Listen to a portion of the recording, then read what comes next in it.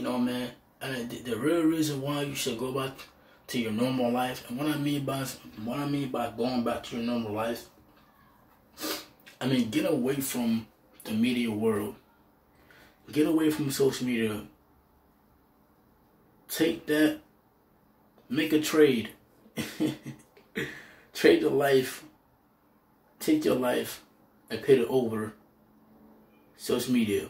But I mean, put your life, you know, first before social media, man. Because it's to benefit you. If you go back to your normal life, where you used to used to be alone, used to have fun, you, have, used to have family time, you used to take care of yourself, you used to love being alone. But you go watch my last last video, how how the media killed it, or life or life used to be like, go watch that shit. Cause I, I speak truth, I speak the facts and that shit. Go watch that shit. The media has fuck, fucked us up, and you're better off stop. You're better off to stop searching for people. Stop searching people. Stop searching for people to talk to. Stop trying to make friends that don't even give a fuck about you. People only care about themselves. I want you to remember, only people people only care about themselves. Only a select few people care about you. You know? So I said, go back to living the normal life and do what you want to do. You're in control. Do what you want to do, bro. You always wanted to work out? Do that.